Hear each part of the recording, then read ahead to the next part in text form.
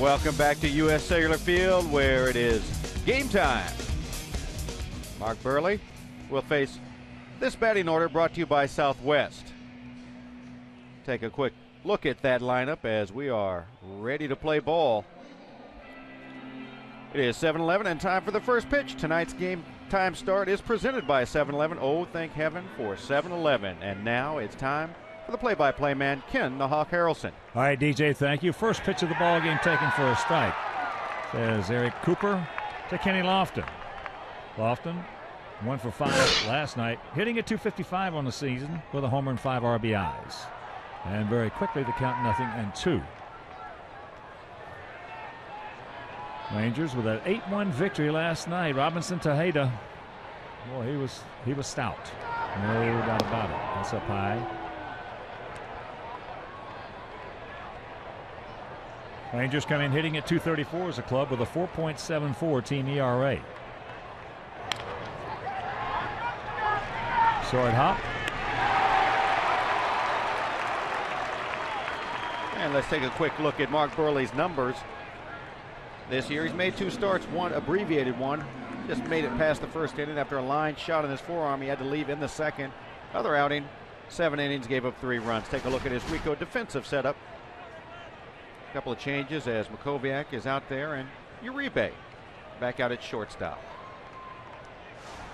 Ian Kinsler, the second baseman, just 24 years old, one of the best looking young players in the game of baseball. High into center field. Got it towards the end of the bat.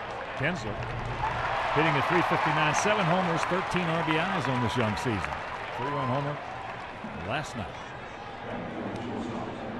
What a high school baseball team he was part of. Ian Kinsler, Brian Anderson, Scott Hairston. Well, there's another big leaguer also that was on that team. I was talking to Brian Anderson about it. He said they didn't lose much.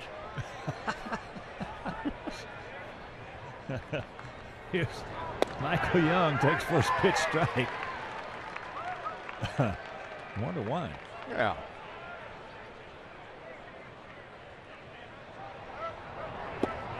And here at beautiful U.S. Cellular Field, 330 down the left field line, 335 down the right field line, 375 in the gaps, and 400 straight away center. There's a strike in the count one and two.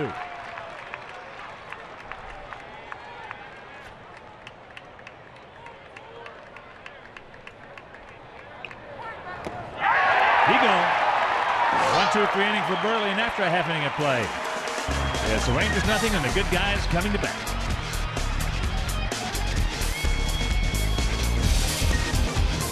Welcome back. We're in the bottom of the first inning. Time to take a look at the Southwest batting order of the skipper Oz again. First at Iguchi and Thome will start it off. Konerko, Dye, Pierzynski following the first three. Crede, Mackowiak, and Uribe close it out. Kevin Millwood, three starts. He's 2 and 1, and 371 earned run average. Opponents are hitting 303 against him, but as you see, doesn't let him score a whole lot. And taking a look at his Ricoh defensive setup, Hairston, Lofton, Cruz are the outfielders. Blalock, Young, Kinsler, Teixeira, the infielders. Laird, he throws well. He's behind the plate. And before we show you our picks to click, you at home select yours. As DJ just told you, know where to give us some hits. They just don't cross home plate.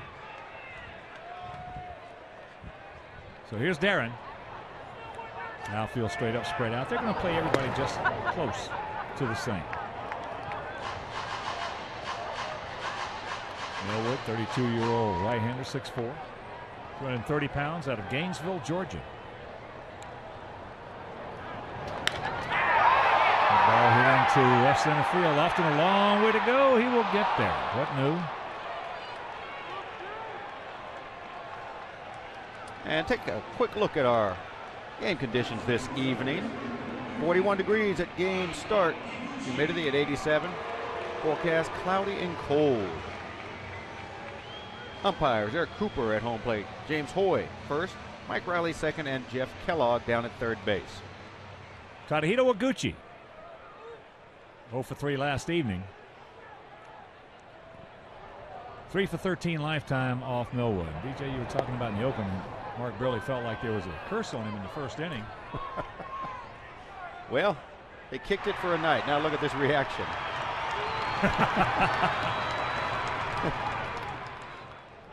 Just happy to get that first one out of the way. And in quick, easy fashion. That was nice. That's you know that's the bonus. He didn't have to even work hard. One one pitch to Iguchi. Flash coming hitting at 215 as a club with a 3.92 ERA. a couple of finals in the American League, actually three. Kansas City came back and beat the Tigers 4-3 at Comerica. Oakland shut out the Angels 3-0 at the Coliseum. And down at Tropicana Field in St. Pete, Baltimore beat the D-Rays 6-4. Other action shows Boston at Toronto, Cleveland at New York, Minnesota at Seattle.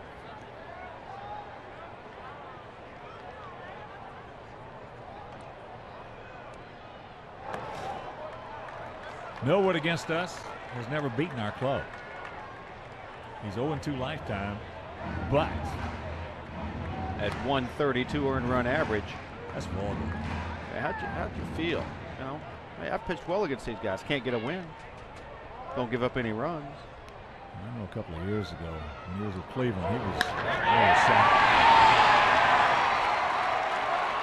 He was just about as good as any right-hander in this league, and they just couldn't score any runs for him. He yeah. wore that thing all year long. Yes, that's just uh, that's bad luck. And obviously, he wasn't real happy because he ended up here in Texas after pitching for Cleveland. Felt maybe he'd get a little better run support, huh?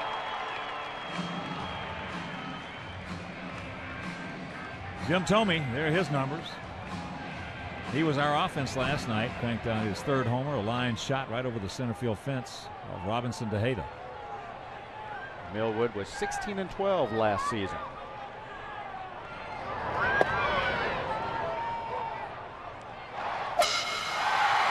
Jimmy last night, contact.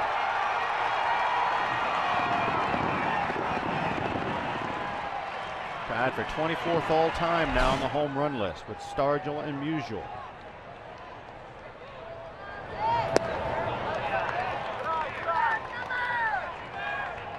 And one to count.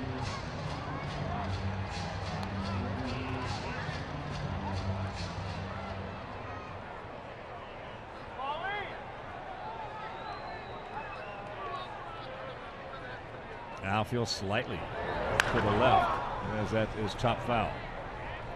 Well, you know, when a club doesn't pitch, they look bad. When a club doesn't hit, they look bad.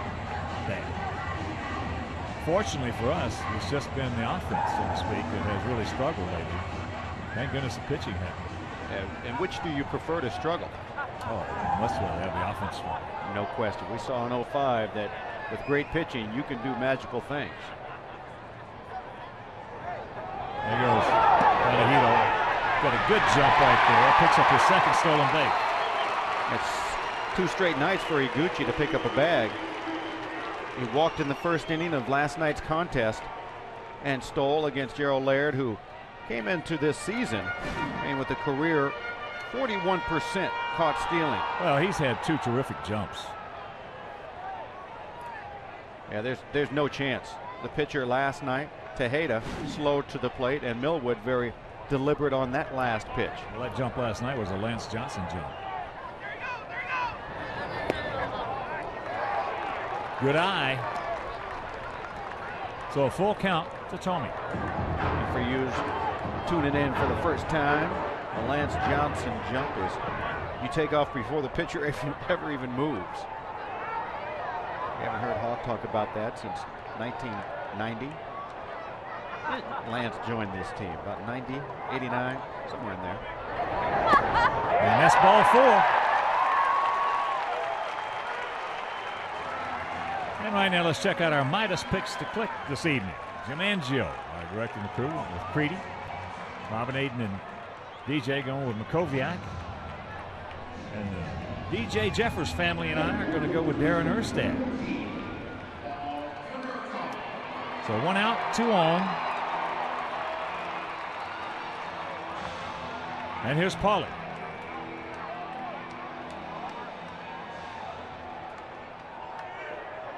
Paulie at 220, a homer, five RBIs. One for three last night. First pitch strike. And if anybody watching in tonight is curious about how the ball carries in weather like this, very well. Guys in batting practice on both sides. We're just launching them way out of here in these cold, frigid conditions.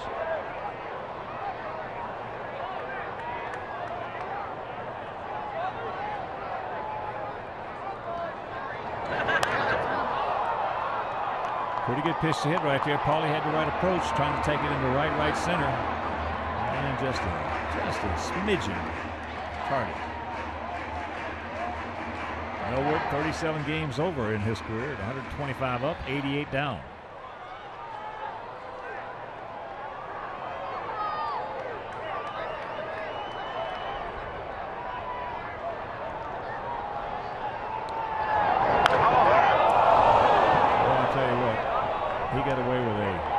Right there. 71 mile an hour curveball. Up. Paulie just a little quick. Take a look at this. This is a sign of a team that is not timing the ball very well. Konerko, swing was nice. It's just too quick. Couldn't let it get back to him. Well, you saw the curveball there. Even though it was up, it was still biting. It wasn't a roller.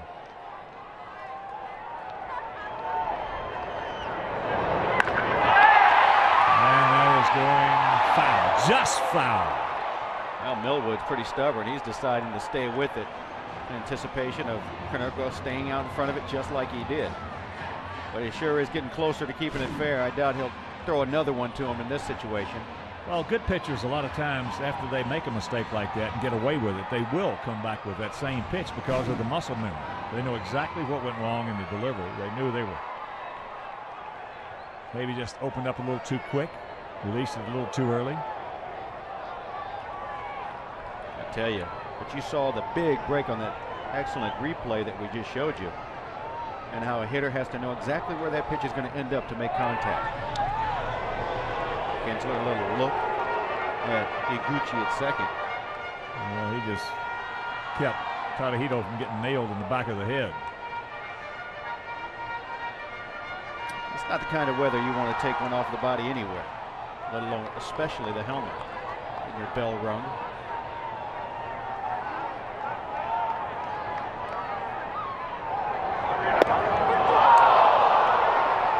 Two down.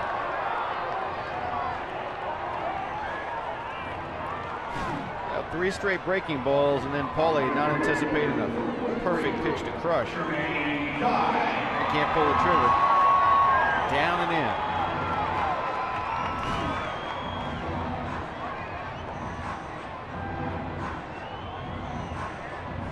So here's Jermaine.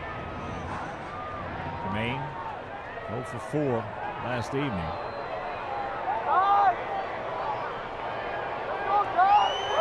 Pitching coach Mark Connor. Out of the University of Tennessee. Also a pitching coach for the Yankees. Mark Connor, good, good pitching coach and a good guy. Been around quite some time and you know, you got to be a pretty good guy in this business to keep getting jobs.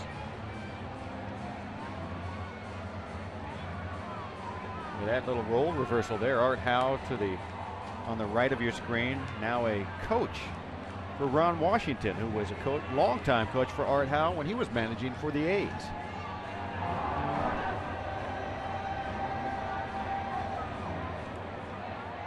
There's Ron Washington. Everybody in the Texas uniform has had nothing but great things to say about their new manager. They've really enjoyed working with them, these players.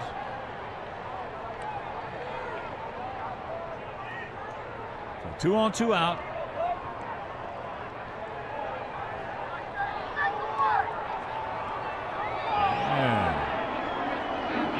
We're taking a lot of time hooking up with Laird.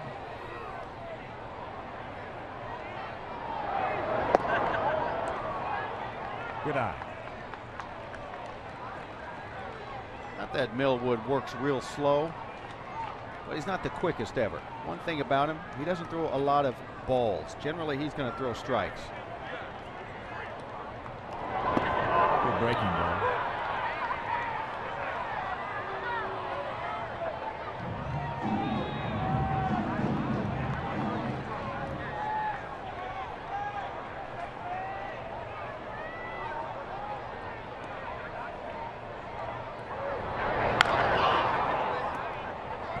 Millwood has a, when he's right, he really has a good span on his pitches. And by span, I mean inside in, outside out. Does not mess around with the middle of plate very much. No, and, we've talked about the cold weather, and there's got to be some difficulty for these pitchers location. He strikes out Konerko and Dye after one, no score.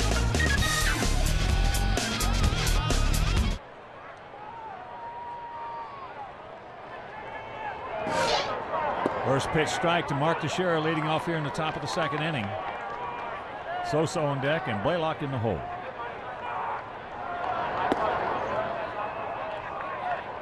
Teixeira 0 for 3 last night, 10 for 26 lifetime against Buehrle with a homer.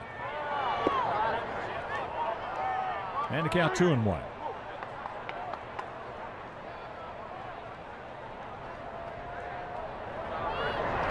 Good change right there.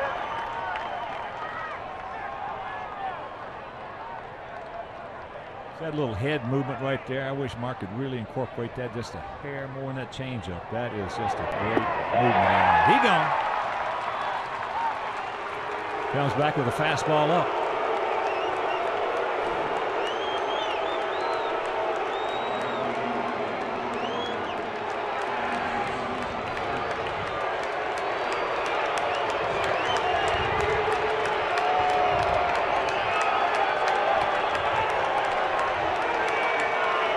pitch to Sosa. Jamie two for four last night with that three-run homer.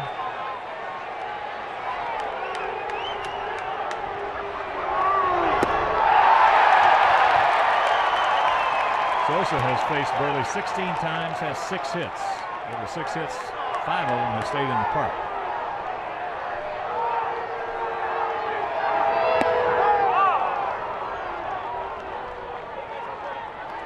Seen a hitter with more evidence of having everything have to be timed perfect to make contact. Hands way out away from his body. That little toe tap. But boy, when he has that timing good, obviously, 591 home runs later, things go well for him. Off the end of the bat, softly hit. Well, And there's only four guys in the history of this game who have more than you do. That's awesome. 600 home runs.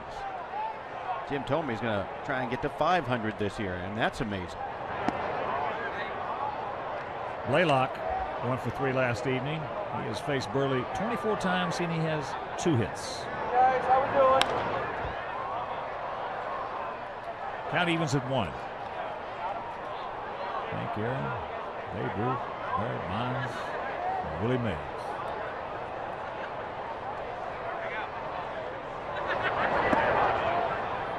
Two and one.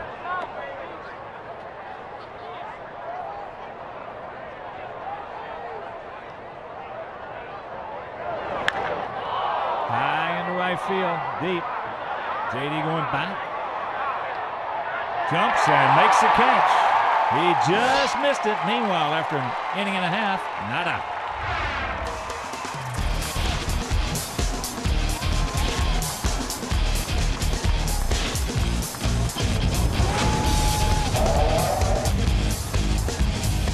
the Bulls trying to pick up their 50th victory. They're 49 and 32.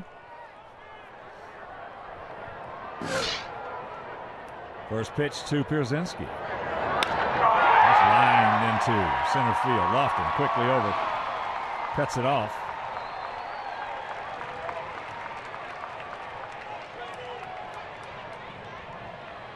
That ball was starched. Really, Gucci hit his ball right on the button. Pierzynski staying on that nicely. Beautiful effort right there by AJ to stay on a pitch away. And he can get himself right by staying right in that location with his front shoulder, driving Himself. toward driving towards that pitcher. He can get himself right by using that short finish. Short and quick. A lot of times, you know, guys trying to be short and quick, and yet the best way to get there is think about how you're going to finish. You finish that bat behind you with a big old long looping swing. Or you can finish that bat in front of you where you just release the hands, trust your hands, hit it. Short and quick. I compare it kind of like my punch shot in golf, you know? Just down through it and stop everything right after contact. Yep. Well, unbelievably, that is the correct analogy. Hawk, of course. He's from that game. That's what I'm saying. Oh, you haven't seen me in a couple of years, man. That's right. Oh, but I'll see you some this summer. Be most impressed. Thanks to that MonaVie. Hey, whatever magical oh. potion you're taking That's it. to get you back out there. God Every bless. day. One and two the count to Crede. Watch out.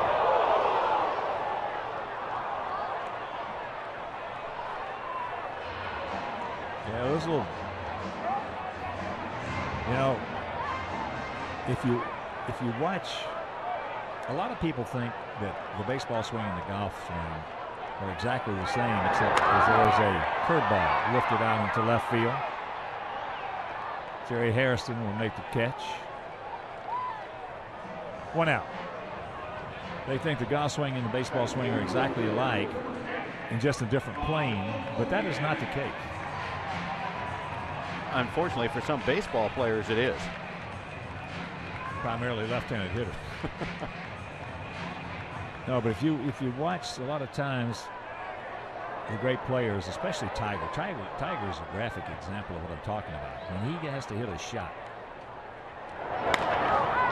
And after this double play, we'll get back to that. Nope. Pulls him off the bag. Let's not forget who was running down that line, too. Mackowiak gets down that line from that left side as quick as anybody we have. He digs hard, and on contact, he gets out of the box quickly. He plays hard. This thing just developed really slow, though. You see right there, soft feed over. Kinsler cheating. That little last bounce on Michael Young took his balance away from that toss. Here's your rebate. But if you watch Tiger when he's got to hit a shot, the only thing you'll see him practice in his practice swings is his finish. That's the only thing you'll see. Just his how he wants to finish that with a particular shot. And the same thing holds true with swinging a, a bat. If you want to shorten that swing up, you've got to put a short, short finish on it.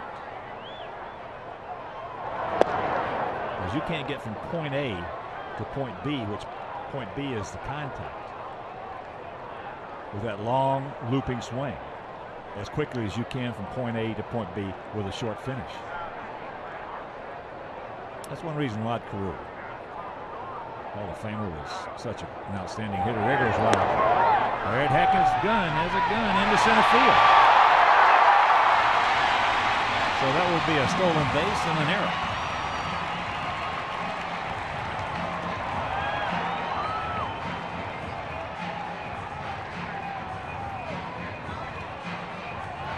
Second error of the year for Gerald Laird.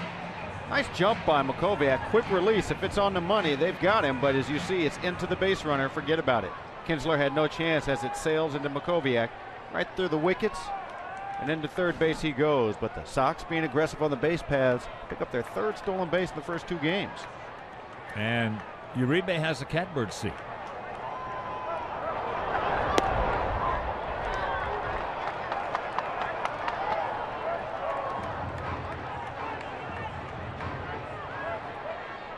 Millwood with an excellent assortment of breaking stuff.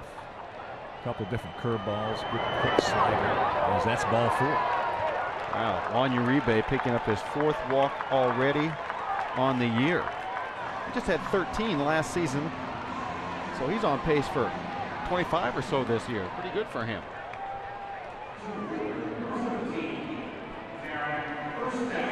So here's Erstad. He line one into left center field, had just a little too much height on it.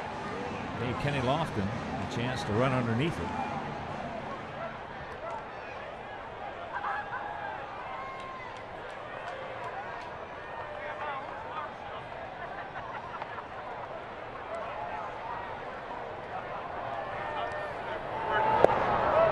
First pitch strike.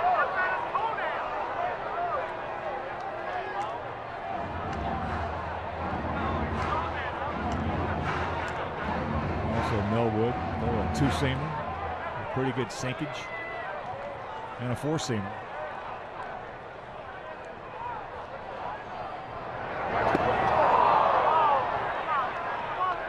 A lot of late movement on that little turned over fastball, that two seamer that Hawk was just telling you about.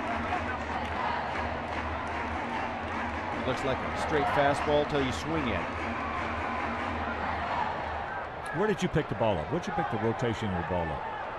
How quickly? On pitches like that, just like Erstad, right when it was swinging miss time. Me too. If there was, if there was one thing occasionally I would pick up, it would be the two seamer. But most of the time, as you say, late, after it already moved and after I'd already missed it. Yep. That ball laced into center field, right at Lofton once again. Fox stranded four through two.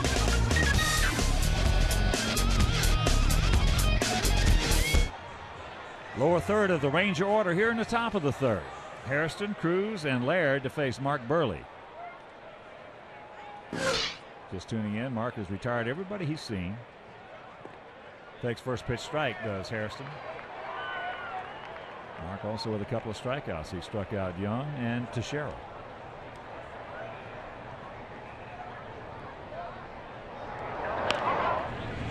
Down it. It's a fair ball.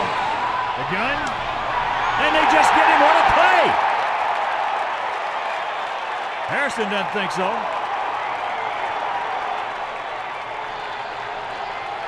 Well, Jerry Hairston gave everything he has. There's no question about that, but Joe Crede gave just a little bit more. Take a look at the Panasonic replay as Crede's going to dive, and it's going to lead him right on top of third base. Look how quick he gets up with that throw, knowing who's running. And Hairston indeed is out. Good call down at first by James Hoye. And a good call. And a good call over third. And now Kellogg's going to come over to try to get this thing squared up.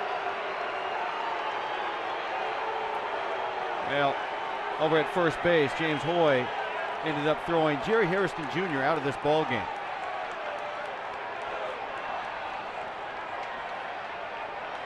Hairston had almost been all the way back to the dugout. Take a look at this again. Now that's bang bang actually. Different view. That's not an easy call, but it's one of those as a base runner that you definitely want as a hitter.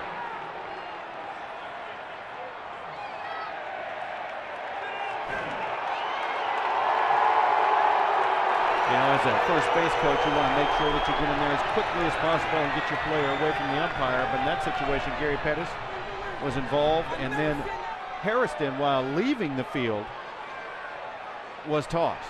So he kept going at that umpire a little too too much. What a play by Crede. And a beautiful pick by Paulie.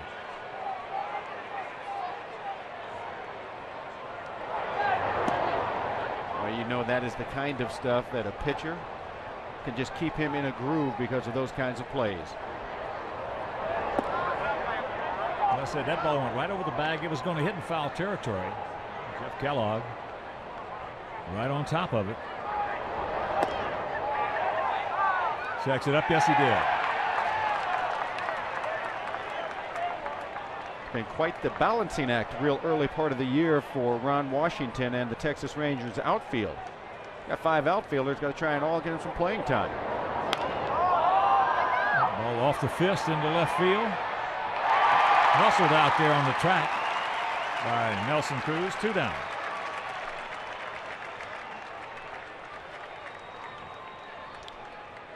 Fans, for every White Sox home run hit at U.S. Cellular Field, Onacondo.com will make a $100 donation to the Chicago White Sox charities. Yeah, one of the great managers in the history of the game, Earl Weaver from Baltimore, always had four outfielders that played in 100 games and five infielders that played in 100 games. Well, I've loved that. I've loved managers that were able to make sure that those guys that weren't his everyday players played enough to where they were ready at any given moment. Something went wrong, he could put them in there and they were going to not hurt him that much. The only difference being is when he had that infield, when he had Robinson and Aparicio, Davey Johnson, Boog Powell. That fifth infielder didn't get too much playing time. well, that may that may be a little tougher to crack that one. Yeah. And you understand it. But he always had John Lowenstein and Gary Roenicke. The tandem out there. Lowenstein a left-hand hitter, Roenicke a right-hand hitter. And they everybody in that club knew their roles. And that's one of the big things, DJ. You played in enough clubs, you played for enough managers. Because there's a strike. Three and two the count to Laird. That's one of the critical points of managing is making sure everybody knows what their job is and then letting them do it. Change up to Hopper. Nine up, nine down, thanks to a great play by Crede.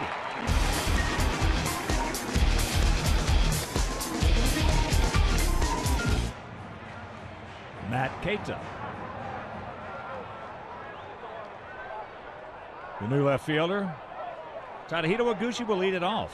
Which lined a sharp single in the left field. Takes ball one.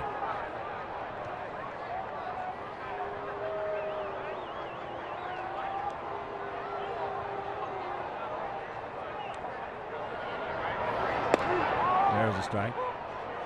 Thome on deck, Konerko in the hole. Well, you said a little while ago, Hawk Millwood pretty much throws a plethora of pitches. He'll cut his fastball, he'll sink it. He'll throw it straight. Also has that big, slow curveball and a changeup. So he's the kind of guy where you better pick a pitch and adjust to the others, but when he get that pitch you're looking for, hit it hard. But foul.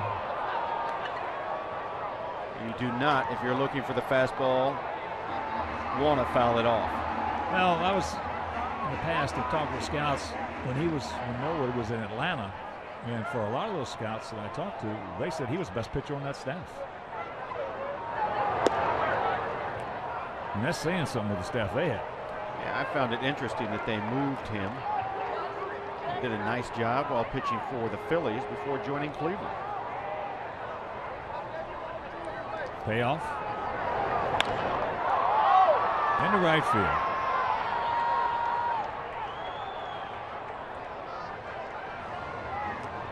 And folks, let's take a look right now at our Kawasaki Let the Good Times Roll graphic. Jim Thome, he's definitely on a roll. See, in the last seven games, he's reached base quite a few times, 17 to be exact. He had a walk and hit, has a couple of homers and three RBIs. The average at 474 during that stretch. At him, Jimmy.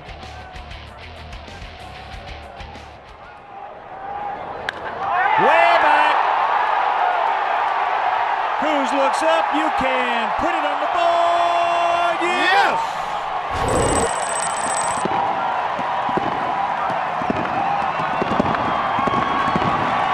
Number four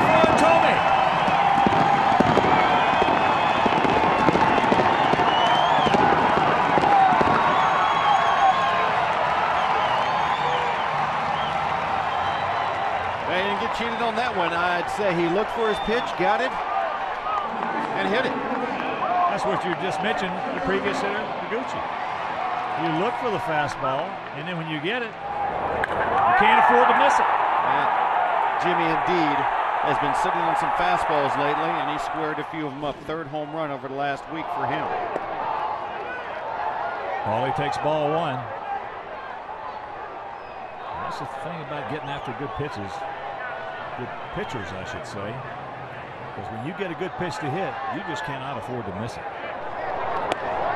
As a count 2 0. And of course, with that home run by Thome, the Alex Nelius family will donate $100 to White Sox charities for every Sox homer hit throughout the course of the season. And that is number 13, so $1,300 donated by Alex Nelius in loving memory of Ursa.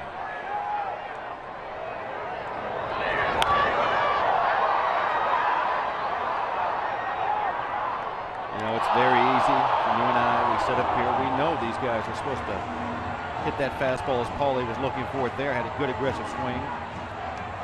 But how frustrating it is when you're just a little bit off in your timing, and even though you know it's on its way, you swing at it, you still can't square it up.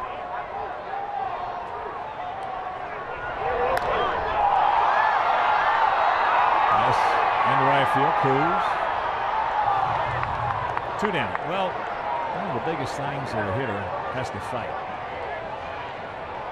especially home run hitters. One of the worst feelings they can have is when, they, in their own mind, they know they're having trouble getting to the fastball. Oh, yeah. Conversely, when you know you can get to that fastball, you're going to do some damage.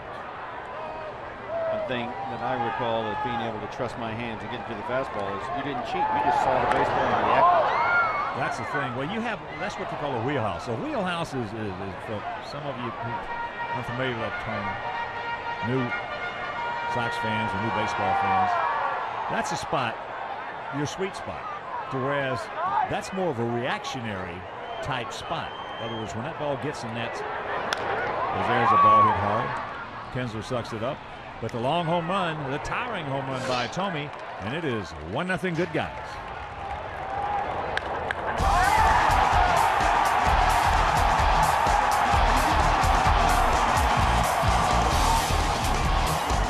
Top of the order here in the top of the fourth for the Rangers, Lofton, Kinsler, and Young to face Mark Buehrle. Crede in on the grass at third, pitch just off the outside corner.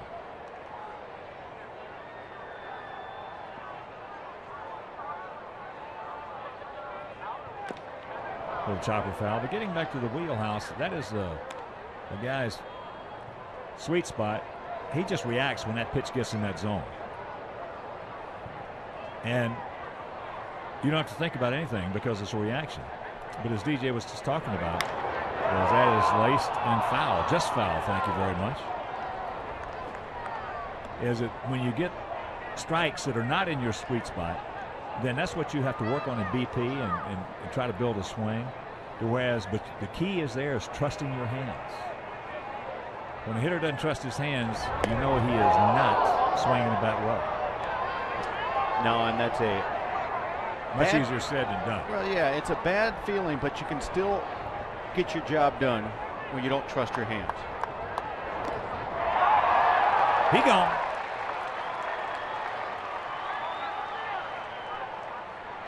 Mark just missed Kenny Lofton with the pitch prior to this.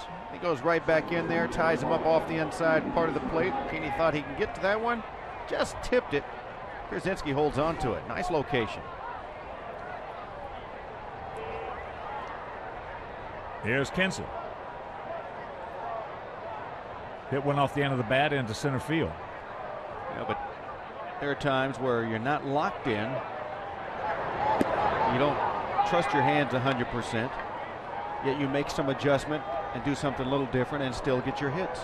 Well, you- you're giving up as that's side of play left side. I'm talking about more, more of a home run in the context we were in, home run hitting thing.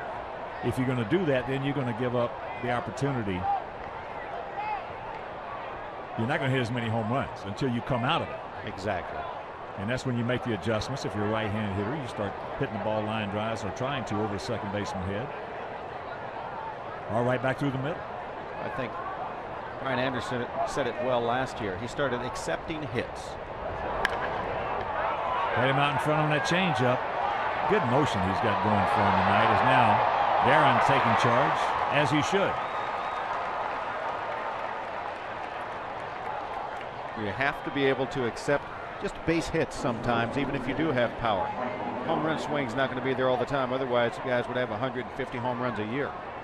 So you have to be able to at times say, I've got to take a base hit right here. Unless somebody like yourself walks up there trying to hit 150 home runs and just get some hits along the way. Yeah. Quick inning. Quick inning for Buehrle. And he leads it 1 0.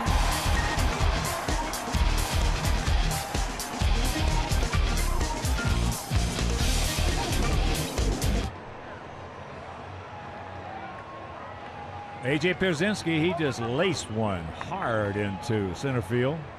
A little bit towards left center for a single.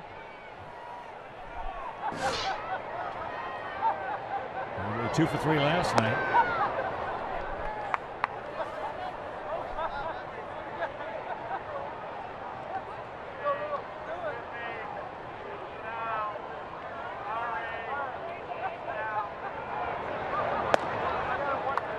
I was just thinking in between innings watching Millwood warm up. He probably has as big an assortment of pitches and can get them over as anybody, certainly in this league, probably in all of baseball.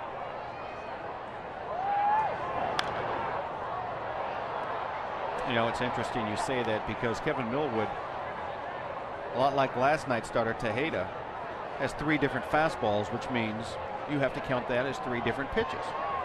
So yeah, he has an overabundance of pitches to use, and he can throw them. He's a guy that can attack you any which way he wants to. Hit him on the fist. Nelson Cruz. 13 game Ozzie plans are on sale now. The Ozzie plan allows you to pick the games that fit your schedule with prices starting as low as $7 per game. Purchase your Ozzie plan today at whitesox.com or for information on other season ticket plans, call 312 674 1000.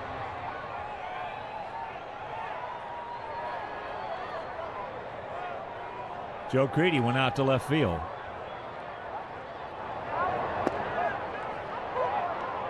Kevin Millwood, 37 games over 500 in his career. Not bad. 125 wins, 88 losses. Well, he's doing something right, that's for sure. He certainly is getting paid well for it.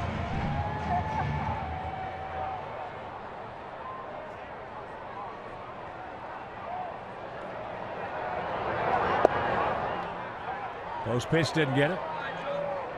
And the count two and one. Millwood's biggest win season came in 99. He was 18 and 7 and 18 and 8 with Atlanta in 2002.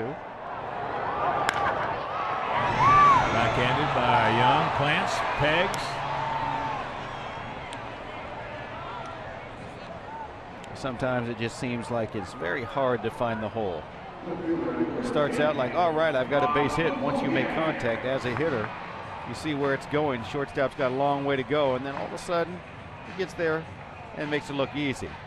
How about when you're in that streak that everything you hit finds a hole? What are those? They're few and far between from the one you mentioned. That's down low to Mackowiak. I don't recall ever having one of those, Hawk, where everything finds a hole. I had one for one game one time. there are some guys that have a career like that. Great feeling, I'll tell you.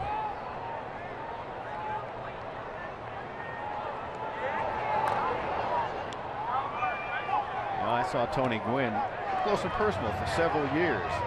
So like every time he hit a ground ball, it was either up the middle or in the hole at short. And you're like, how can that be? Just three, four times a day, it seemed like no problem for him to find that hole.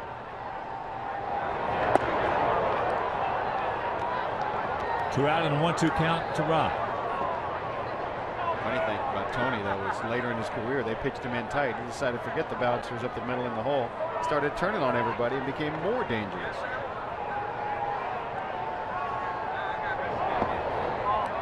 Millwood trying to backdoor him. Occasionally, Kevin Moore will give, will give you the impression he's just out there almost toying with guys.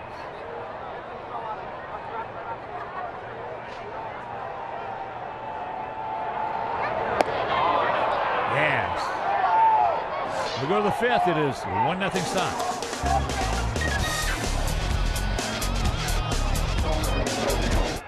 Top of the fifth inning, one to nothing. Sox on top. At one coming from a long blast off of the bat of Jim Thome, his fourth home run of the year. That was in the third inning. Mark Teixeira, strikeout victim in his only at bat.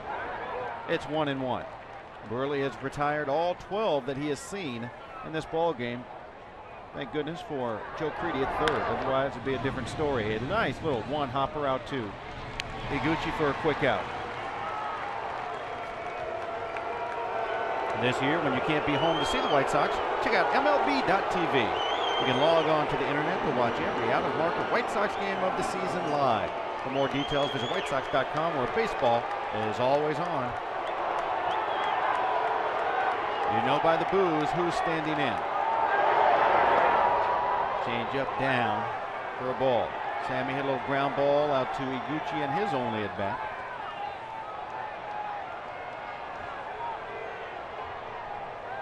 Mark getting it and throwing it as you would anticipate. Up. Good pitch.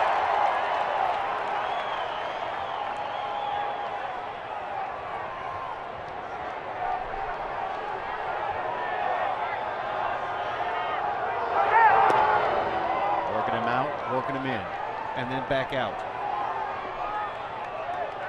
Buehrle, 50 pitches tossed up there. Been very efficient. That pitch taken down, three and one.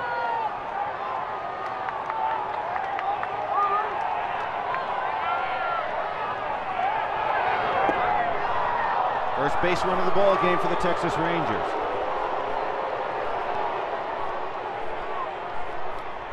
That'll bring up Blalock. Hank Blalock, thank goodness, just missed one in his only at bat. High, high, deep, deep. And Jermaine Dye had to go back and catch it right at the top of the fence.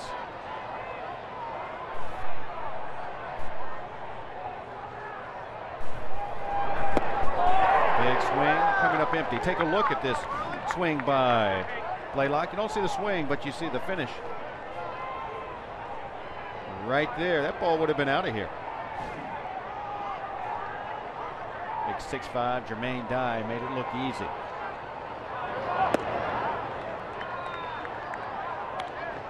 Blalock has not enjoyed hitting against Buehrle in his career. He's just two for 25.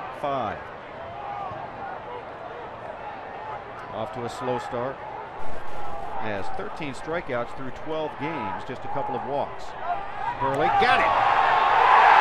Sammy Sosa becomes victim number 48 in Mark Buehrle's career. And it's just not good when you're not stealing a base to be picked off. And Sammy not stealing here. There you see it. Toyota Robo replay. Plenty of time.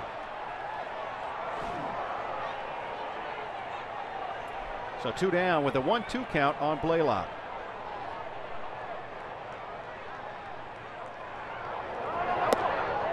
Boy, that is just a uh, good move.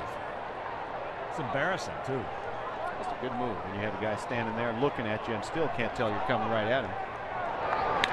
That ball's hit hard to the left of Iguchi. Nice diving stop and the throw on the money. from Mark Buehrle. through five, he's faced the minimum, has a one to nothing lead.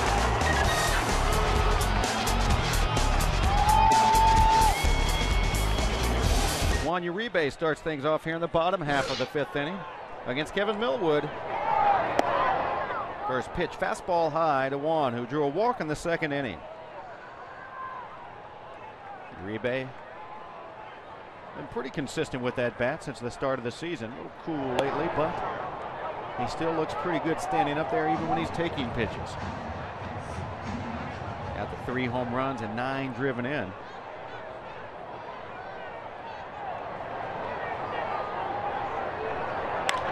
That's high into right field. Cruz. One down. White Sox individual game tickets are on sale now. Tickets are still available to see the White Sox play the Detroit Tigers and the LA Angels of Anaheim between April 25th and the 29th. For tickets, call 866 Sox Game or visit WhiteSox.com. Darin Erstad. He's gone out to Lofton twice.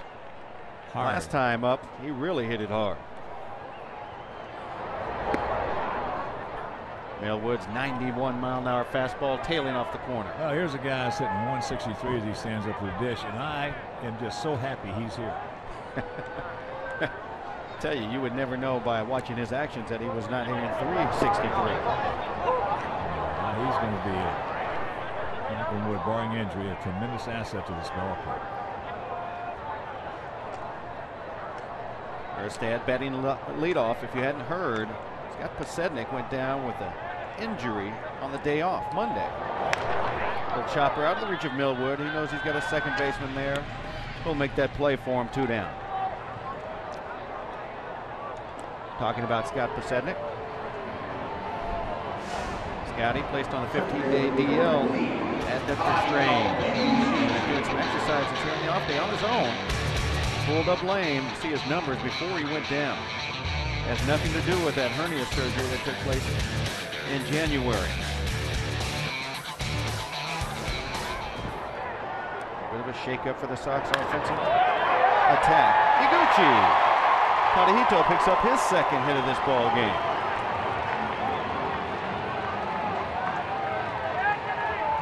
Well, the big thing about that is this walking up to home plate. Tadahito, that swing getting a little bit shorter. I was talking that a little bit earlier about that finish. It's a very compact finish after contact. Jim Thome had a pretty compact finish after last time up short, sweet, and fall. Kept the bat in front of him. And he's reached base twice, also walked in the first.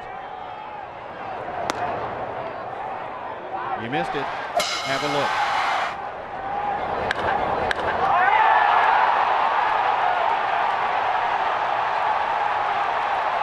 That's number four for Jimmy.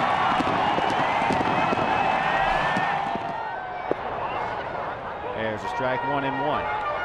Millwood trying to make a bit of an adjustment out there as Iguchi already has one stolen base in this ball game. They have two against them on the night. Rob Mackowiak swiped a bag in the second. Trying to be a little quicker to the plate because of it.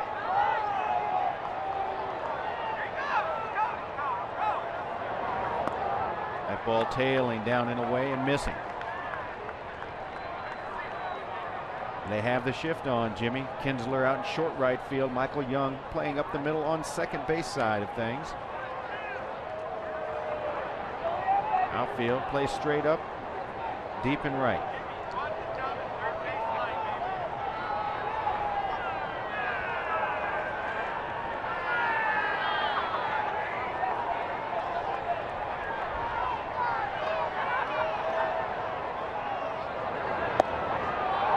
That'll be three and one.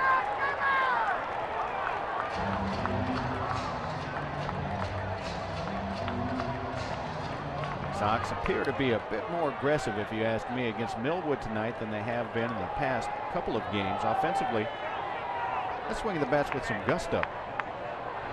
That'll be ball four, so Jimmy has reached base all three times this evening. Two aboard for Konerko. Well, Paulie's getting closer. He's not that far away. And it looks like Thome certainly is closing the gap on him.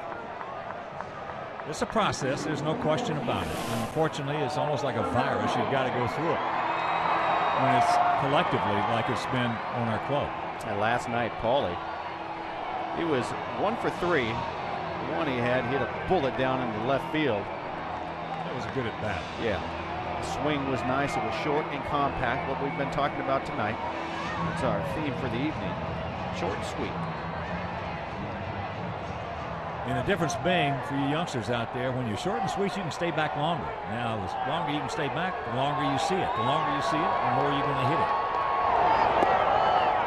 Millwood's pitch just stays inside. He's got a little slider he'll throw that spins, doesn't do much.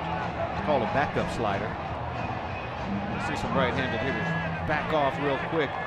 It really doesn't do much. Kind of just stays on that inside corner, and they thought it was going to run in on them. There it was again, doing much with that pitch. And it's 2 0. Paulie, he's going to try and keyhole one right here. and lay into it. 77 pitches for Millwood here in the bottom of the fifth inning. Keyhole means he is going to look for it in such a small, tiny, minute area, and if it's there, he'll take his best swing. And it wasn't there, so it's 3 and 0. Turning moves right here, Alex. Wally looking down at third base coach. And shine to, in my opinion, looked like he gave him a swing away sign indeed.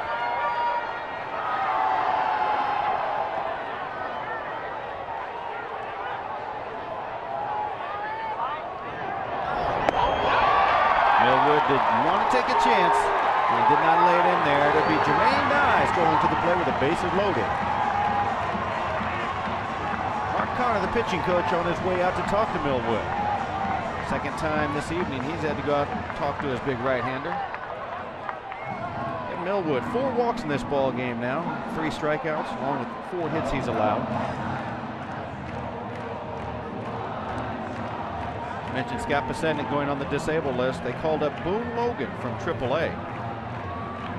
Skipper felt getting an extra arm right now, and that bullpen was going to be a little more advantageous to his team, and giving Rob Mackowiak and Cintron and Ozuna some extra at bats would uh, also be nice for them at this stretch where he's going to be on the DL with. Five career grand slams for Jermaine. He's looking for a big hit situation for him to come through. That pitch just stays inside. Didn't miss by much. Well, that's just a big pitch. It's always the first pitch in a sequence of this nature, especially when you got a guy struggling. One thing about it, don't take a Rolls Royce long to get warm. 2 0. Millwood being very cautious with these dangerous White Sox hitters and got himself in a big, big jam. It's Iguchi, Thome, and Konerko on those bases. Jermaine Dye can't outthink himself here. Just look for a fastball and his spot to lay into. Wasn't his spot. It was down the way, and it's ball three. Millwood does not appear to be real pleased with home plate umpire Eric Cooper's strike zone.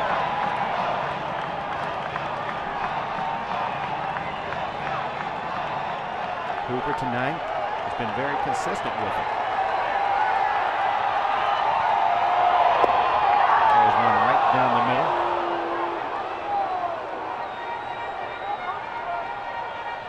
That's not a situation where you want to swing with the bases loaded and a 3-0 count. You got two more that he's got to lay right there for you. He went after a pitcher's pitch, three and one, and it's going to end up in the seats full count.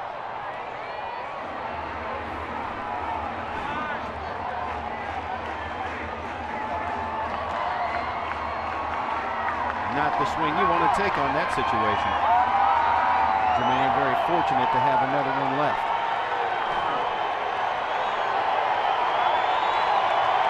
Runners will be off. And the same pitch, same result.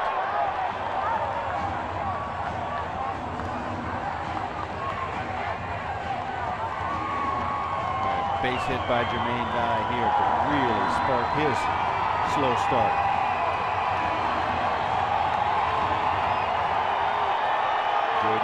200 right now, has two homers, six driven in. Little chopper down to third base, foul. Home plate umpire Eric Cooper puts the arms up.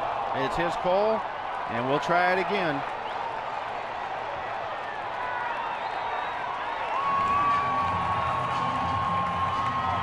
See right here on the replay that Blalock's going to come up and play this in front of the bag.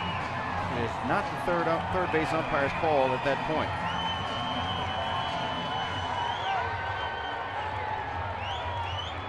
Well, Jermaine has had three straight swings, none of them real good.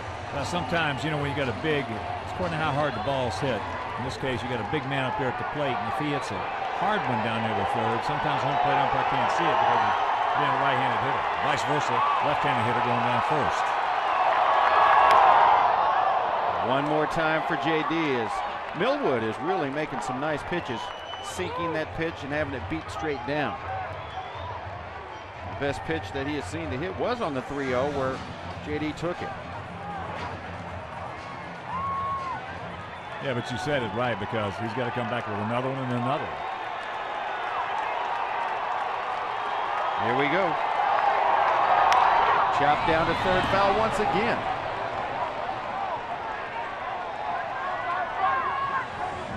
Five straight foul balls from Dodd. Millwood is really battling out there, making good pitches. You'd think if you're Jermaine Dye, sooner or later he's got to make a mistake. It just hasn't happened yet.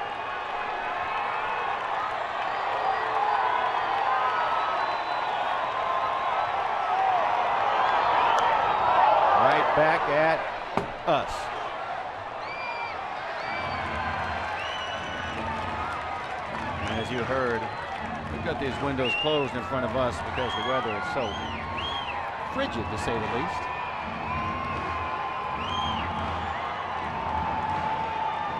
So no souvenir up here in the booth.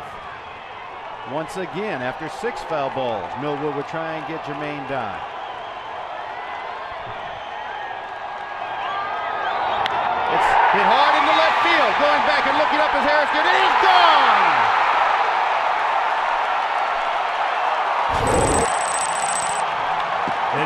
A Rolls Royce long to get warm.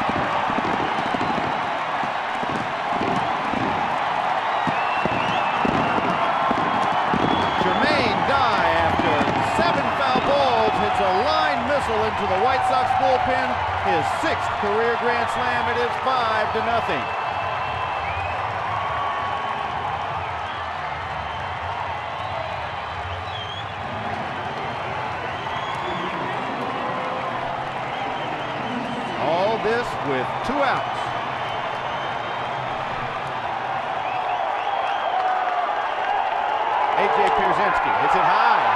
Deep into left center field. Going back is Lofton. He'll drop the ball right in front of the warning track. Pierzynski thought the play was made. Will cruise into second base.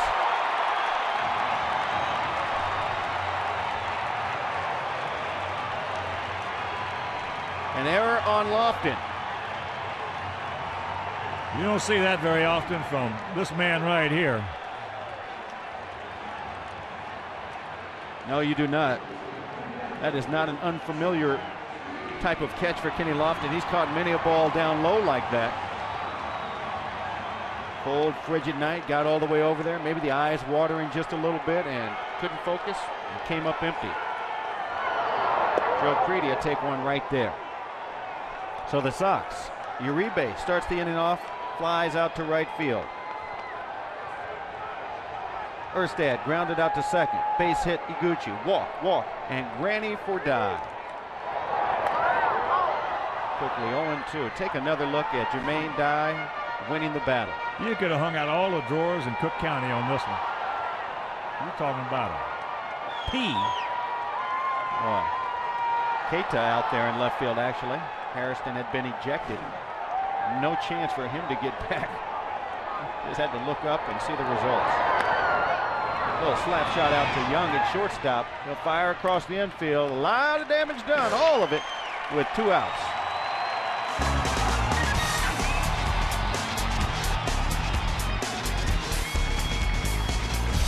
And time right now to take a look at our Aflac trivia question.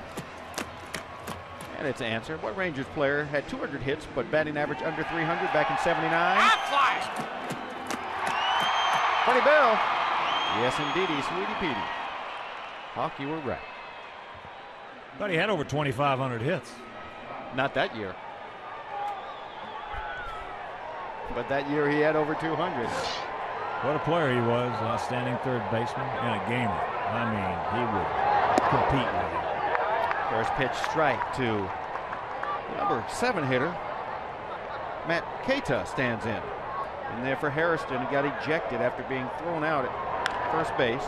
Oh, bouncer foul. Take another look at this close play earlier. Crede made a great diving stop at third, got up, got rid of it quickly. It was bang bang play at first base, could have gone either way. And his reaction, he thought he was safe. and ended up being tossed as he was heading back to the dugout after arguing. See Jerry pointed saying I was all the way over there. It's a one and two count. Takeda. On deck. Cruz. Change up down. Two and two. Now Mark right here has got to treat it still like it's a one nothing or a nothing nothing ball game. Forget about that five run lead he's got and compete like he has been through the first five innings. He heard you. One down. That's the fourth strikeout of the ball game for Buehrle. He has faced the minimum all the way through here into the sixth inning with one down. Nice little change up.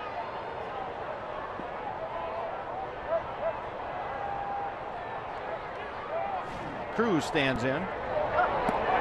Good power. Got jammed last time up and muscled it well into left field, almost in front of the warning track. He's got to count.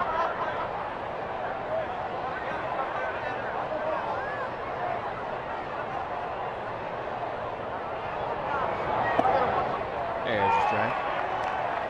So Mark Buehrle has allowed one base runner in this ball game in the fifth inning with one out. He walked Sammy Sosa and then picked him off. That ball's hit hard out to Jermaine Dye. Two down.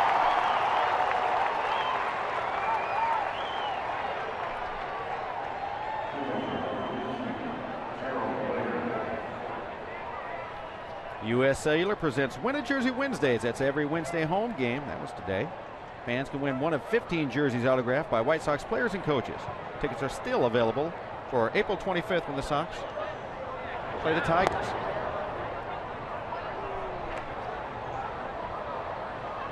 Gerald Laird grounded down to shortstop in his only at bat.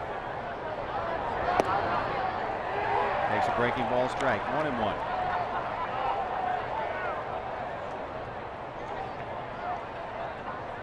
Buehrle in his last outing threw the ball extremely well. He had three runs against the A's. Those three runs came on three doubles in the first inning. The next six, six innings, he shut them down completely. And of those three doubles, only one of them was hit hard. They were just very fortunate, those A's, that inning. Yeah. Inside corner ace. Two strikeouts in the inning for Buehrle. He leads it five to nothing.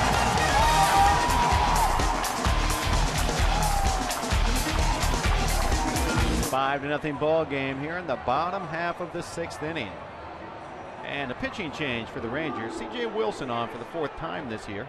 736, that's his earned run average in three and two thirds innings. Suppose have three, three hits and 15 at bats against him. Wilson. Pretty good fastball, about 93 or so, and a curveball. First man he's going to face is Rob Mackowiak, who's 0 for 2, does have a stolen base. That was when he reached on a fielder's choice in the second.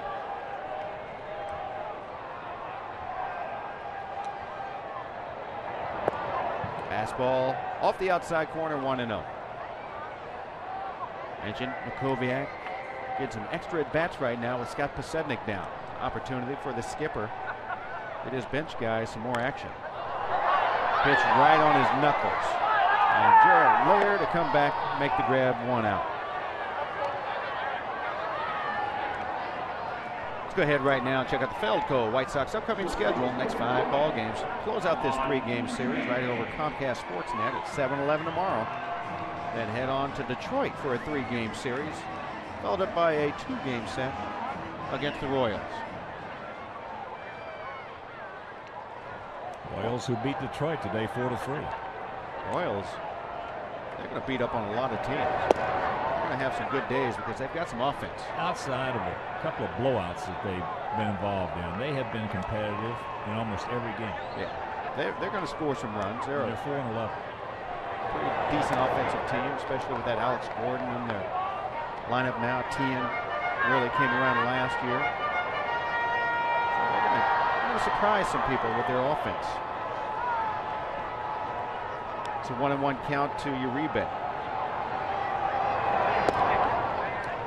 Two and one. Juan drew a walk back in the second inning. That's the fourth of the year for him. Make that sound like a big deal because it is.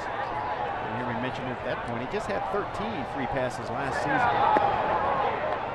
He's on the verge of another one at three and one.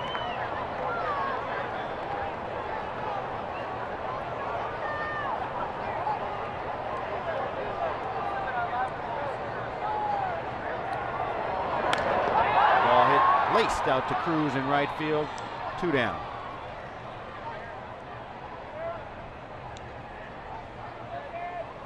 Back to the top of the order with Darin Erstad. Erstad tonight is 0 for 3, but he's hit a couple of balls hard out to center field. Last time up at Chopper in the fifth inning, out to second base. There was a second out of that fifth before things got hot for the Sox. Iguchi's base hit, the walk to Thome, the walk to Konerko, and then Jermaine Dye after fouling off seven pitches. He didn't see it. He won the battle with a grand slam.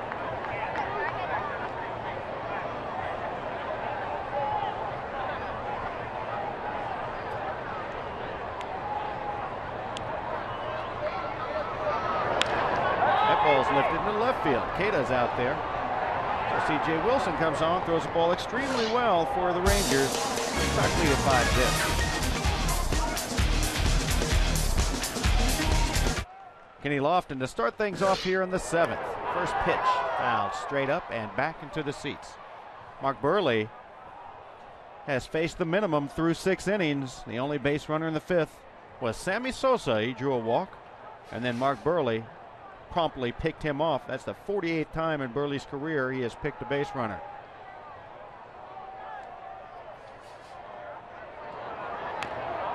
Little foul down, quickly 0 2. Buehrle and Pierzynski have just been in a tremendous rhythm all night long. 72 pitches he's thrown. One walk, five punchouts.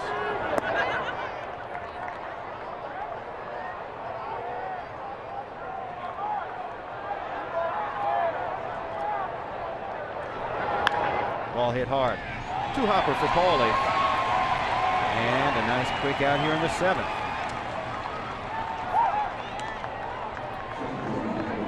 That brings up the second baseman, Ian Kinsler. Kinsler's flied to center field twice. The reigning American League Player of the Week is Kinsler. Last night, a bomb out of here. Three-run blast. That was in the seventh inning against Jon Garland. There's a strike.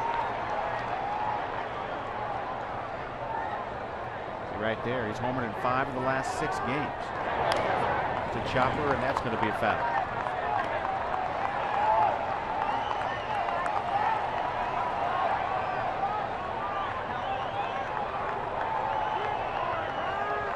Ian Kinsler, the 17th round draft choice for these Texas Rangers a few years back.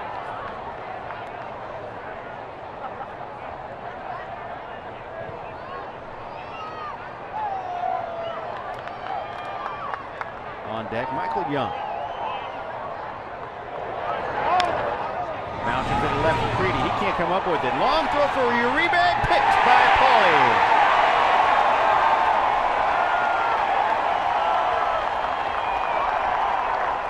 Boy, Crede with earlier in the ball game, if you missed it, a beautiful play. Watch this play right here by Wani, how quick. One can get rid of the ball just about as quick as any shortstop in the American League. I'm talking about with some giddy up on it.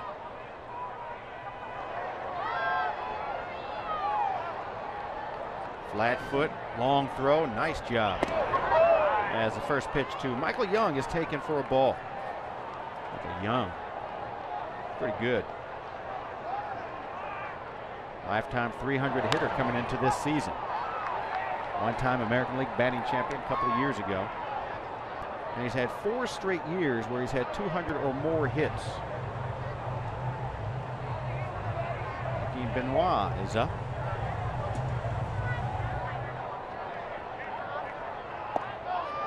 There's a pitch taken in, two and one. Michael Young, an interesting family history. He's had some professional boxers in his family, some cousins. That's off into the seats. One of his cousins, Zach Padilla, is a WBA junior welterweight champion 94 and 5.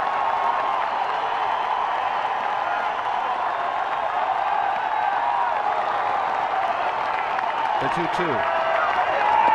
Up and in.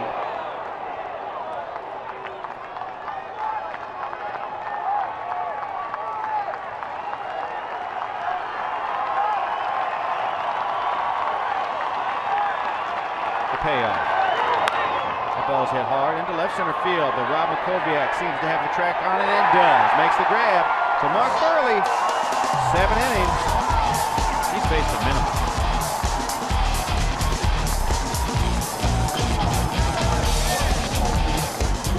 And taking a look at the Comcast Sportsnet game summary, it has been a, a nice ball game for the Sox this evening. If you're just tuning in late, Mark Buehrle, as you see, he has been getting it done. He has faced the minimum through his seven innings worth of work. Big grand slam by Jermaine Dye. And Joaquin Benoit is now the new pitcher for the Rangers. It's been in five games. He's thrown it well. Has a 193 earned run average. Just four hits in his 18 at bats against him. Tad. Tad Gucci stands in. He's reached base a couple of times. Two singles. Has a stolen base and a run scored. They say Benoit's changeup has been unhittable.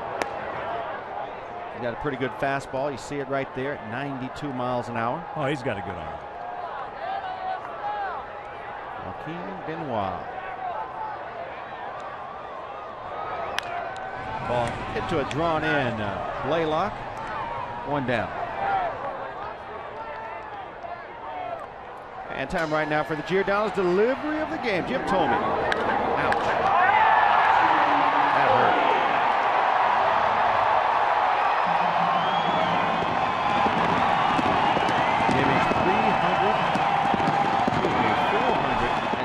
76th home run in his career.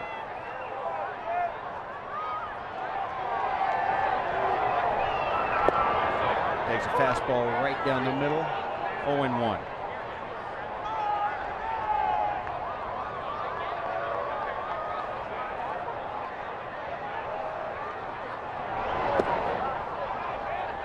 Jim Thome mentioned that home run earlier.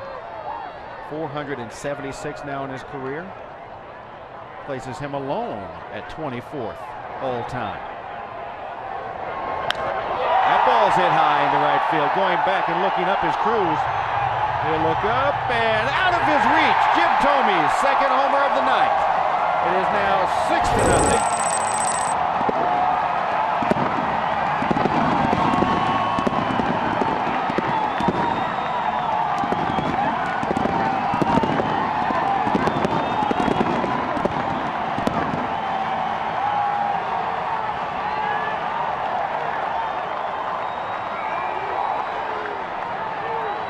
Jimmy getting his congratulations as the changeup. Hawk was just telling you about it. That one left up and out.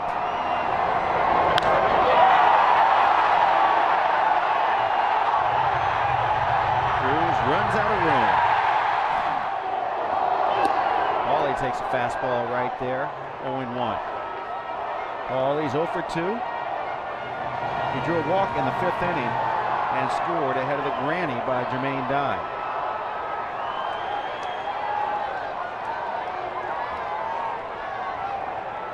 Six hits, six runs for the Sox tonight. Three home runs.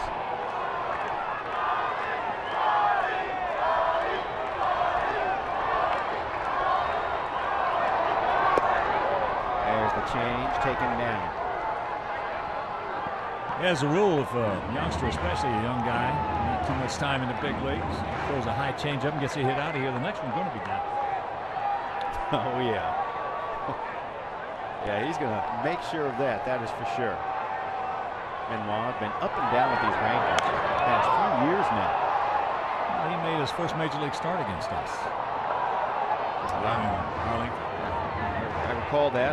The talent good arm, control, got him in some problems, falling behind in counts. Well, yeah, he was basically a 2-0-3-1 pitcher at that point. Now they're using him in this role out of the bullpen, build up some confidence, some experience, and see where it takes him. Paulie checks it up on the hard breaking slider, no swing.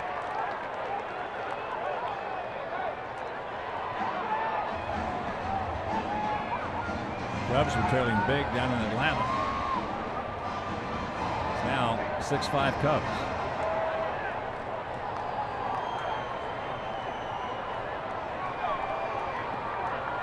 Paulie with a 2-2 count. A lot of room back up the middle on the ground. Outfield plays Paulie straight. Down the line. Two down.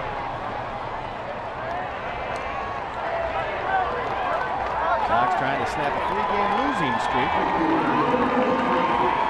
Themselves back on track.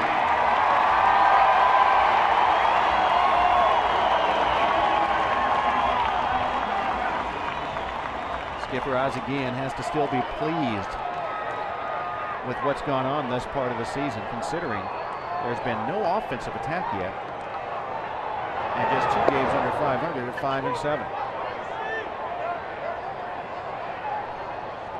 Came in with a nice 3.92 earned run average, did the pitching staff.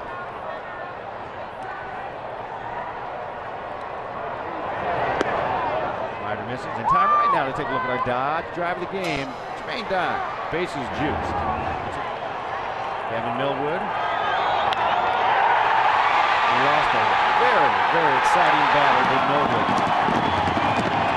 Strike after strike after strike until Guy made contact there. Making strikes. There's a nice little slider for a strike from Benoit.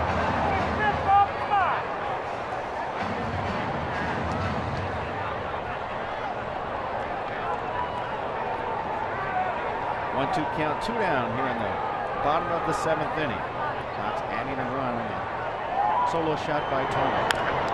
Nice little squiver back to Benoit. Sox offense tonight.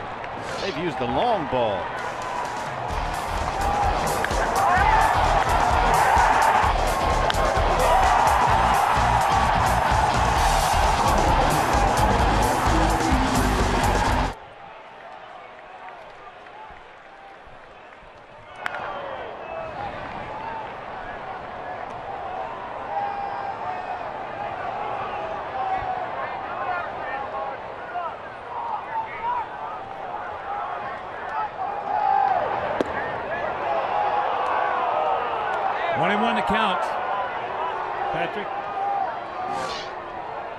Mark Teixeira here in the eighth inning. Change up, well outside, two balls in the strike. Mark is thrown 87 pitches in this ball game. Just tuning in, Sox with one in the third. That was Thome. Solo shot. Four in the fifth. That was a grand slam by Jermaine Dye. Sox won bottom of the seventh. There's another solo shot by Thome. Thome, five home runs. And the 2 2 pitch. He gone. Aced him on the outside corner. And if you're just tuning in, some of the highlights of Mark Buehrle.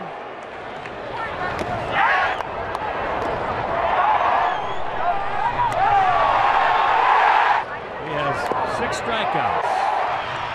As Sosa who has been the only base runner for the Rangers this evening.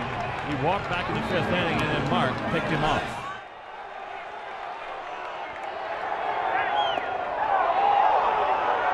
Only to count.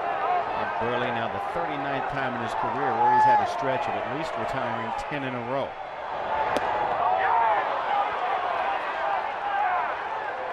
Did in his last outing against the A's. 10 straight batters retired. And the 2-1 pitch to Sosa. A little flipper. Iguchi is there off the fist. Two down. Defensive change into left field. Brian Anderson. For Rob Mackowiak. So here's Blalock. He's gone out deep to right field. Jermaine Dye had to go up to get it. Is that off the fists? The play right there Holy mercy. I like it. Not anticipating anything other than it's a fair ball. Can't And giving it assume to- anything. That's right. Giving it to his pitcher and saying, hey, I'm not going to worry about it from there. Ball very close, and Paulie said it's not worth waiting and finding out and being wrong. Ground ball softly hit to Iguchi. Another one, two, three inning for Buehrle.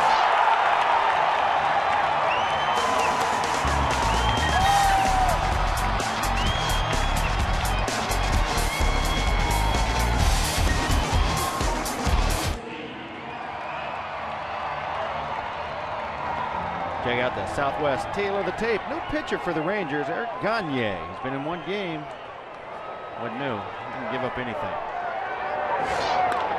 First pitch to Pierzynski, hit into center field. Well, one thing about Gagne. Watching him on television when he was in that Dodger uniform, probably in the last, I don't know, 15, 20, 25 years, maybe even more than that, was as unhittable as any pitcher you ever want to see on watching him on TV. Yeah, that's when he was throwing probably about 96, 97, maybe even higher than that. With some of the wickedest, nastiest off-speed stuff you've ever seen. 0 for 3. And the count 0 2. Yeah, on TV, I mean, you know, you've seen Pedro when he looked, and when he was on top of his game, Randy Johnson, guys like that. But this guy right here was as tough as anybody, again, watching him on TV. You just saw that graphic. 84 consecutive saves for Gagne. It's a major league record. At that time, there were people that were saying, former players were coming out saying, yeah, it's just one inning worth of work. Yeah, well, okay. Whatever the standard is at this time is all that matters. He got it done for 84. Was asked to get it done. He did it.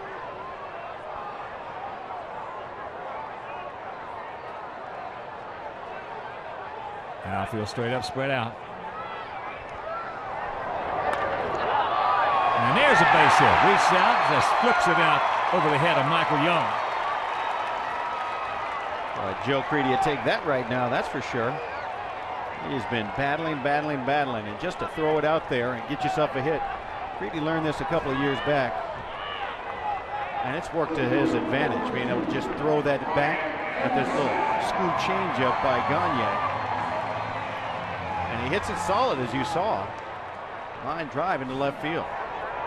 Brian Anderson's going to get his first at bat in this ball game, a defensive replacement last half inning. Big swing coming up empty was Brian. Rob was 0 for 3 in this ball game.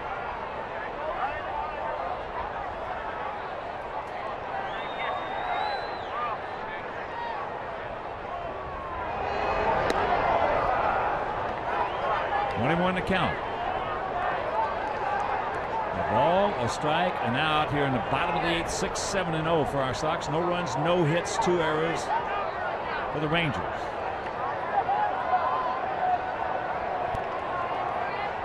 Rangers will have Kata, Cruz, and Laird, the scheduled hitters, in the top of the ninth.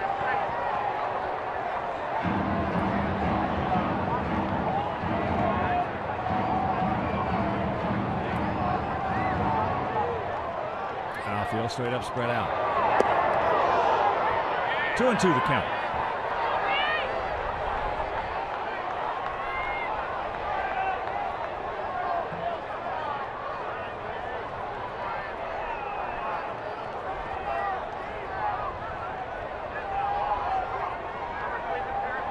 Twenty-five thousand three hundred ninety, and they have seen something special through seven and a half innings.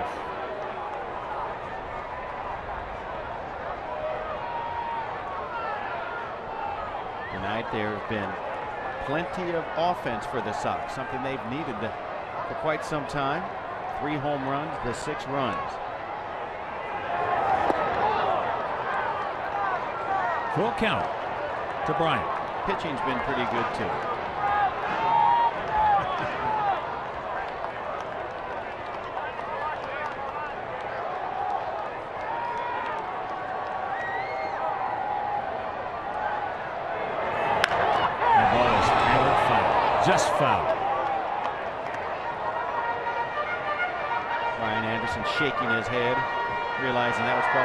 Chance he was going to have to hit one hard, and unfortunately he did it, but foul.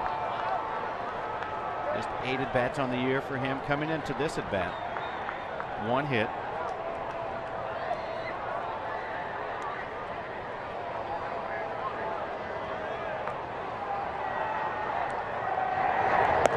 And that's ball four.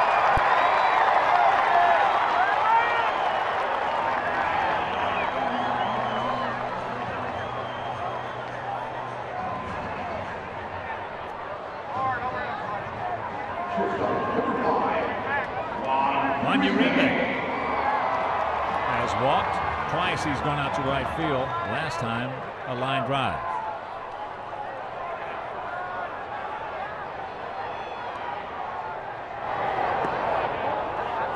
Breaking ball, no. Laird.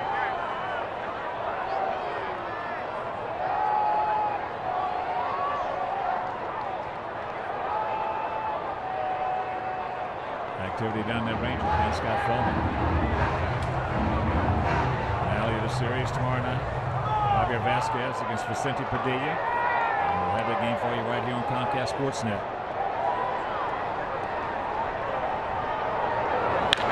That ball hammered down to Blalock over the second, and they'll turn it.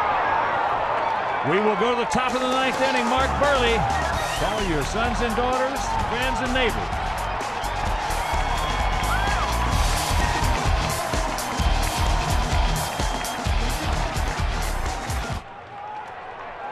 As you check out our Comcast Sportsnet tale of the tape. 6 7 and 0 for our Sox. No runs, no hits, two errors here in the top of the ninth inning. 15 no hitters in team history. Wilson Alvarez, the last one, 91 at Memorial Stadium in Baltimore. Matt Kata been to the plate one time and struck out.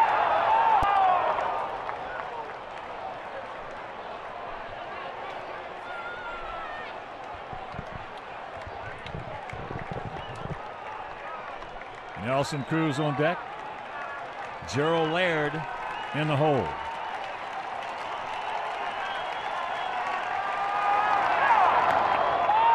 And the count 0 2. If you're just joining us, only one Texas base runner. That was Sammy Sosa back in the fifth. He walked and then was picked off.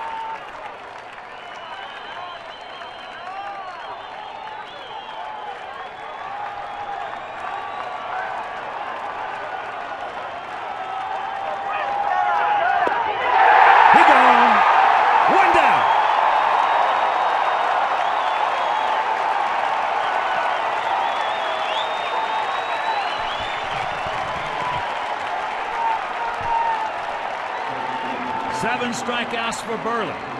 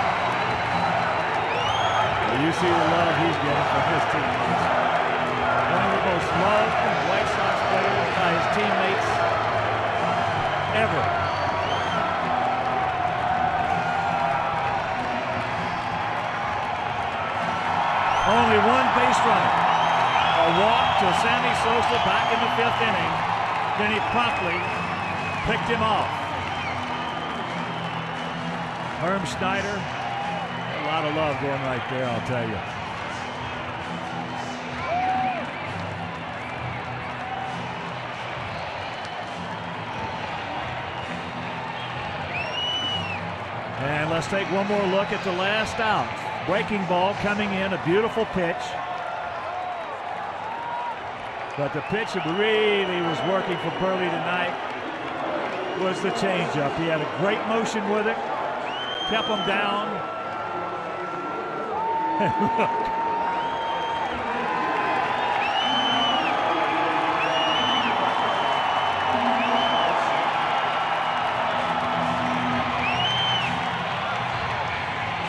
Congratulations to Mark Burrow. Early, and right now let's go down to Josh Morrow, who's got Mark. The Guys, thanks very much. Mark, can you believe what you just did? No, what just happened? I never knew in a million years this happened. Uh, you get so close, it's so tough to get to a full lineup like that. Uh, but I mean, they got some great hitters, and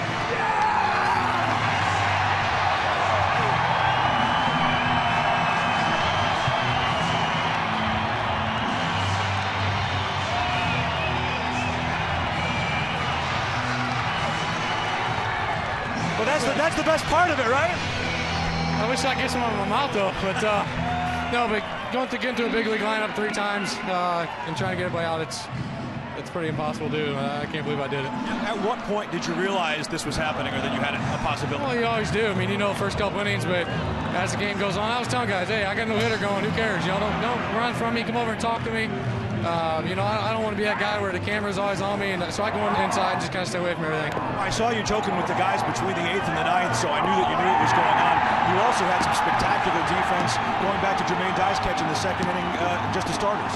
Well, I mean, I, I, obviously, uh, for a guy like me, I need I need uh, defense behind me because, you know, I, they're going to put the ball in play. I don't strike out many guys, so uh, for the defense to do what they did, and I even last eighth inning, I looked over Konerko, and he was, I think he was more nervous than I was, but uh, it, it's just amazing. Have you ever thrown one before at any level? Uh, I was a part of one in high school. I think I threw two or three innings, but uh, this obviously this is the first time I've ever done it at any level above the, above high school. You know, and for you going back to the Oakland game last week, you retired the last 10 men you faced that night. So, you know, the walk to Sammy in the fifth, otherwise it's 37 up and 37 down. Perfect game would have been nice too, but uh, no hitter. I mean, I, I can't argue with that. Well, congratulations, a special moment for all of us. Thank you. Mark Buehrle throws a no-hitter, the first of his major league career. Guys, let's go upstairs to you. Guys, thank you very much. And a lot of love, as I mentioned, one of the best liked players by his teammates in White Sox history. A first, a first for him. And once again, the final score. Sox win it six to nothing. And our Chevrolet player of the game, guess who? 28-year-old Southpaw, Mark Buehrle, first career no-hitter against one of the best hitting teams in all of baseball, your Chevrolet player of the game. So for DJ, Darrin Jackson, for our Hall of Fame director, Jim Angio, for our producer, Mike Leary, our associate producer, Dave Ross, also for the mayor, Mean Joe Groove. Up here in the booth with us, Tom Hoover, Frank D'Amato. This is Hawk Ken Harrelson. Congratulations, Mark Buehrle.